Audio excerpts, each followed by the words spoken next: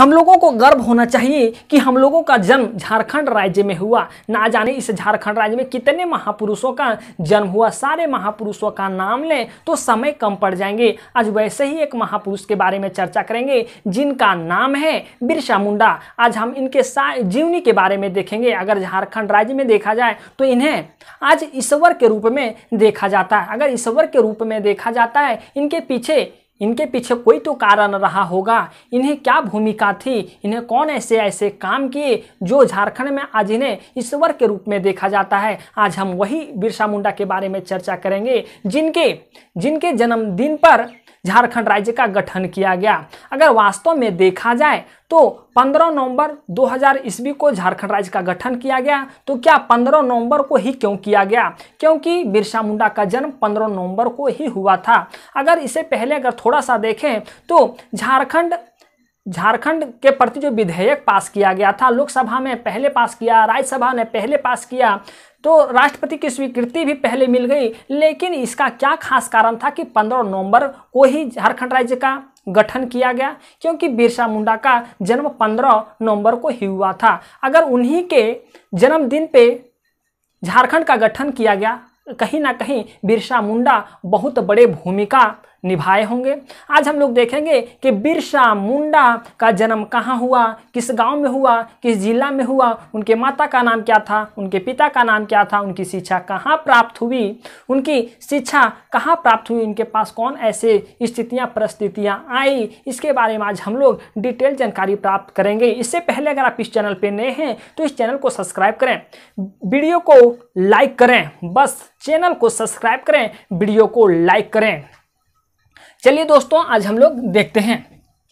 अगर वास्तव में देखा जाए तो झारखंड राज्य निर्माण के संदर्भ में, झारखंड राज्य निर्माण के संदर्भ में जो लोकसभा में विधेयक पास हुआ था,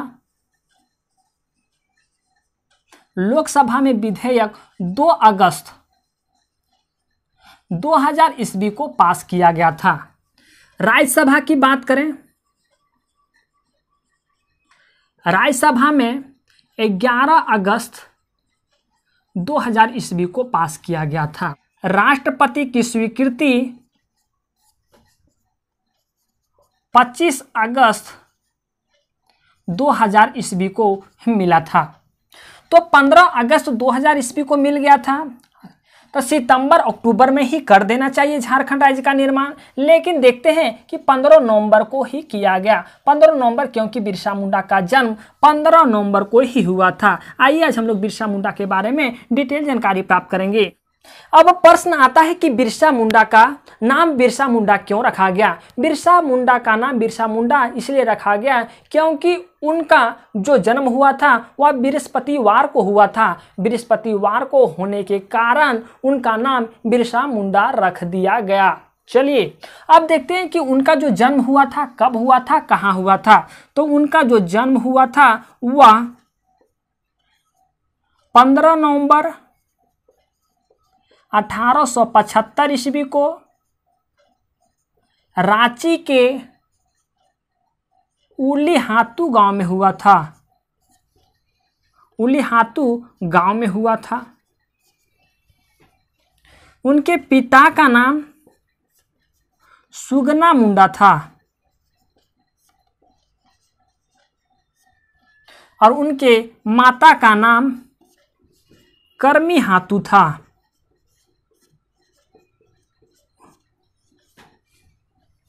कर्मी हाथू था। अब बिरसा मुंडा बहुत बदमाश हुआ करते थे। बिरसा मुंडा को उनके पिता सुगना मुंडा ने बिरसा मुंडा को उनके मौसी के यहाँ भेज देते हैं। बिरसा मुंडा वहाँ भी बहुत ऐसे बदमाशी करते हैं। बिरसा मुंडा संगीत में रुचि रखते हैं। उनको बाँसुरी बजाना बहुत पसंद होता है। बाँसुरी वो काफ़ी मधुर बजाते हैं। तो वो वहाँ भी बदमाशी करते हैं। अपने मौसी के यहाँ, मौसी के वहाँ भी पर वो बहुत बदमाशी करते हैं। फिर उन्हें अपने पापा के पास भेज दिया जाता है। उनके पापा उन्हें शिक्षा प्राप्त करने के लिए, बिरसा को शिक्षा प्राप्त करने के लिए चाय बासा भेज दिया गया। चाईबासा जब भेज दिया गया चाईबासा से शिक्षा प्राप्त करके वे घर आते हैं। घर आने के बाद उनके पापा का मानना था कि सारे लोग जैसे अंग्रेज़ों का काम करते हैं और वहाँ से जो दो पैसा मिलता है, वही दो पैसा से घर में भी अनाज ले लिया, लाया जाए। लेकिन बिरसा का मानना ऐसा नहीं था। बिरसा का मानना ऐसा नहीं था। बिरसा सोचते थे कि हम अंग्रेज़ों के नीचे रह के काम नहीं करेंगे। इनके प्रति कुछ अलग जुनून था, लेकिन इस चीज़ को सुन करके उनके पिता दुखी होते हैं, कहते हैं, मेरे घर में खाने के लिए कुछ नहीं है। अगर हम अंग्रेज़ों का काम नहीं करेंगे तो हमें पैसा कहाँ से मिलेगा? रोटी कहाँ से चलेगी? रोटी दाल कहाँ से लाया जाएगा? तो इस इसे गुस्सा होकर के बिरसा मुंडा के पापा अर्थात सुगना मुंडा, बिरसा मुंडा को घर से निकाल देते हैं। बिरसा मुंडा के पास जो भी कॉपी किताब होते हैं, उन्हें वो फेंक देते हैं। कॉपी किताब भी फट जाती है। बिरसा मुंडा घर से निकल जाते हैं। निकलने के बाद कुछ दूर जाते हैं। उसके बाद वहाँ एक मृतक व्यक्ति को दफनाया जाता है। और भारतीय संस्कृति में ऐसा ऐसा किया जाता है दोस्तों कि जहाँ जहाँ मृत लोगों को दफनाया जाता है, उसके बगल में, उसके बगल में क्या है कि जेवर भी डाल दिए जाते हैं। तो इस चीज़ को बिरसा मुंडा देख लिए। जब आदमी को दफना करके और लोग जो दफनाए, दफनाने आए थे, वो लोग इस आदमी को जब दफना के थोड़े दूर चले जाते हैं, अब इस चीज़ को बिरसा मुंडा देख लेते हैं कि यहाँ गहना डाला गया है, गहना डाला गया है। जो मृतक व्यक्ति को उन लोग दफना के गए थे, उन उन लोगों का कुदाल, जिसे हम लोग आमतौर पे चपर, चपरा बोलते हैं, चपरा उन लोगों उन लोगों का यही छूट गया था। तो वही कुदाल से इन्होंने उस उस जेवर को निकालते हैं। इसी दौरान एक व्यक्ति आ जाता है। वही व्यक्ति जो मृत व्यक्ति को दफना के गया था, क्योंकि उनका कुदाल ही छूट गया था तो वो कुदाल लेने के लिए आए थे। तो इसी दौरान देखते हैं कि बिरसा मुंडा वहाँ के जेवर को निकाल करके भाग जाता है।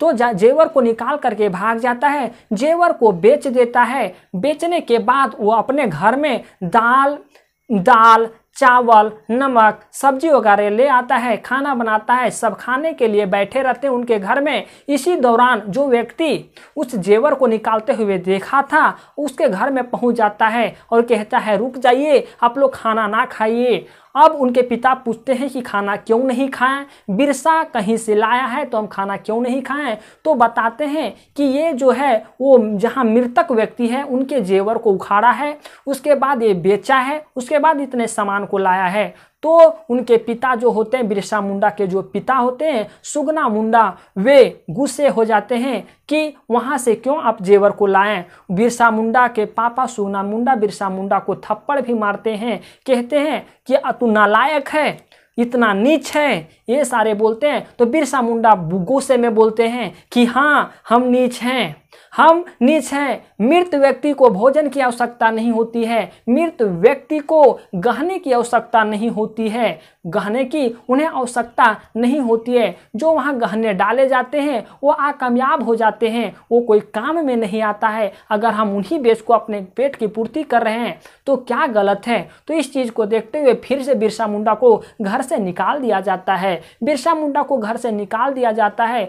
बिरसा मुंडा जब घर से निकलते हैं तो काफ़ी उनकी एज हो जाती है। एज होने के बाद वे बाहर के रीति रिवाज को देखते हैं, समझते हैं देखते हैं कि अंग्रेज़ों के द्वारा मुंडा जनजाति को, उराव जनजाति को खड़िया जनजाति को अंग्रेज़ों के द्वारा प्रताड़ित किया जा रहा है। जब इस चीज़ को वो देखते हैं तो उनके मन में अब थोड़ी सी जागरूकता होने लगती है कि अंग्रेज़ हम लोगों के साथ ऐसे भी शोषण करते हैं। उनके दिमाग अब खुलने रखते हैं। राजनीतिक तौर पे उनकी दिमाग अब चलने लगती है। इस स्थिति को देखते हुए वो कहीं एक जगह बैठे हुए रहते हैं पेड़ के नीचे। लोगों को, वो सोचते हैं कि लोगों को प्रेरित कैसे किया जाए? अंग्रेज़ों से छुटकारा कैसे मिलेगा? अगर लोगों को हम प्रेरित करते हैं तो फिर अंग्रेज़ों के ऊपर हम लोग चढ़ाई करेंगे, फिर अंग्रेज़ों से हम लोग का छुटकारा मिलेगा। वो एक पेड़ के नीचे बैठे रहते हैं। इसी दौरान एक व्यक्ति आते हैं, जिनका नाम होता है आनंद पांडे। आनंद पांडे आते हैं और कहते हैं कि उनका नाम, उस बिरसा मुंडा का नाम पहले सुने हुए होते हैं। तो कहते हैं कि आप उठिए, मेरे घर चलिए। आनंद पांडे कहते हैं कि आप मेरे घर चलिए। घर जाने के बाद आनंद पांडे बिरसा मुंडा को महाभारत, रामायण, वेद, व्यास और और सारे ग्रंथों का अध्ययन करवाते हैं। इससे बिरसा मुंडा और ज़्यादा और ज़्यादा ज्ञान ज्ञान प्राप्त कर लेता है और वहीं से वो व्यस, औषधि का विशेषक बनता है। औषधि कहने का मतलब कि जो भी बिरसा बिरसा हो खडिया हो या बिरहोर हो, जितने भी जनजाति हैं, उनका ये औषधि से आप इलाज करने का तरीका जान चुके थे। इन्हें औषधि का ज्ञान प्राप्त हो चुका था कि किस तरह से किन बीमारियों को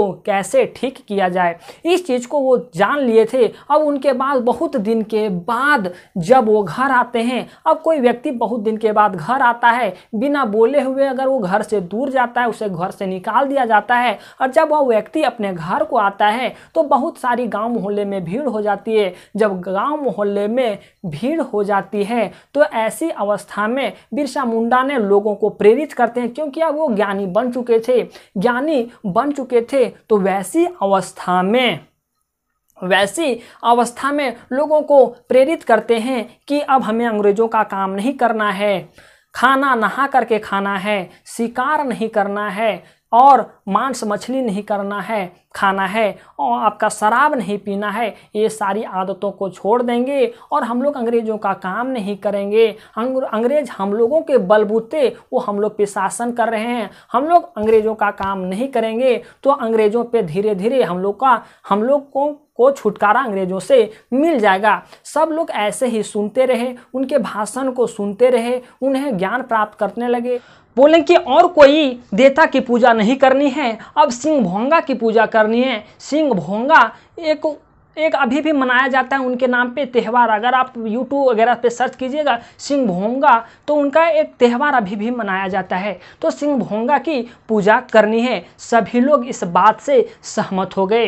अब अंग्रेज़ों को यह पता चल गया कि जो उराव जनजाति हैं, मुंडा जनजाति हैं, खड़िया जनजाति हैं, जितने भी यहाँ के जनजाति हैं, उनके जो नेतृत्वकर्ता भी बन गए हैं, वो एक नाम है जिनका नाम है बिरसा मुंडा। वे लोगों को नेतृत्व करना चालू कर दिए हैं। जब ये बात अंग्रेज़ों को पता लगी तो अंग्रेज़ों ने अंग्रेज़ों ने सभी जनजातियों के जहाँ सैनिक रहा करते थे, अर्थात सैनिकों का जहाँ मुख्यालय हुआ करता था, वहाँ उन पर आक्रमण कर दिया। बहुत सारे बच्चे वहाँ मर गए, बहुत महिलाएँ मरी, बहुत ऐसे पुरुष मर गए, लेकिन बिरसा मुंडा वहाँ बच जाते हैं। बिरसा मुंडा को फाइनली अंग्रेज़ों ने दो साल के लिए रांची के जेल में डाल दिया जाता है। डाल देते हैं। अब डाल देने के बाद उन्हें बहुत ऐसे प्रलोभन देते हैं। पता है, जो ये अंग्रेज़ों ने पक, अंग्रेज़ों जो पकड़े थे बिरसा मुंडा को, वो वो कौन पकड़वाया था? तो इन्हीं के अपने आदमी ने पकड़वा दिए थे। बिरसा मुंडा के अपने आदमी ने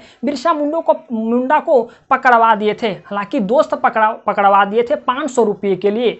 अंग्रेज़ों ने उनके, अंग्रे, अंग्रेज़ों ने अंग्रेज़ों ने प्रलोभन दिया उनके दोस्त को कि बिरसा बिरसा मुंडा को जो पकड़वाएगा, उनको हम पाँच सौ रुपये देंगे। उस समय पाँच सौ रुपये बहुत हुआ करता था। तो इसी प्रलोभन के चक्कर में बिरसा मुंडा के दोस्तों ने बिरसा मुंडा को पकड़वाने में सहयोग किए। बिरसा मुंडा को पकड़ लिया गया, फिर रांची के जेल में डाल दिया गया। इन्हें दो साल की सज़ा हुई। दो साल की सजा हुई, वहीं बिरसा मुंडा को बहुत सारे प्रलोभन दिए गए। इतना ज़मीन देंगे, ये देंगे, वो देंगे, बहुत ऐसे बड़े बड़े प्रलोभन दिए गए। लेकिन बिरसा मुंडा को प्रलोभन में आना नहीं था। उन्हें प्रलोभन नहीं चाहिए, उन्हें जायदाद नहीं चाहिए थी, उन्हें उसके देश की आज़ादी चाहिए थी। तो इस स्थिति में बिरसा मुंडा वहाँ जेल में रहते रहे और उन्हें, उनकी लास्ट में मौत हो जाती है। उनकी मौत 9 जून 9 जून उन्नीस सौ ईस्वी को उनकी मौत हो जाती है और यह मौत का कारण अंग्रेज़ों ने बताया कि उनका मौत का कारण हेजा था। लेकिन कोई हेजा नहीं था। इन अंग्रेज़ों ने बिरसा मुंडा को जहर दे करके, जहर दे करके मारे थे। उम्मीद है दोस्तों आपको ये चीज़ें समझ आई होगी। अगर फिर भी कहीं किसी प्रकार की डॉट या किसी प्रकार की परेशानी आ जाती है तो आप नीचे दिए गए कमेंट बॉक्स में बेहिचक कमेंट कर सकते हैं। बस हम आपको ये बिरसा मुंडा, जिन्हें आज झारखंड में इन्हें भगवान के रूप में देखा जाता है, उनकी जीवनी बताने की हम सरल भाषा में और सही ढंग से हम आप लोग के सामने पेश करने की कोशिश किए। अगर फिर भी कहीं से दिक्कत या परेशानी आ ही जाती है तो आप नीचे दिए गए कमेंट बॉक्स में बेहिचक कॉमेंट कर सकते हैं, हम सबका रिप्लाई करेंगे। चलिए दोस्तों, मिलते हैं एक नए वीडियो में, एक नए टॉपिक के साथ।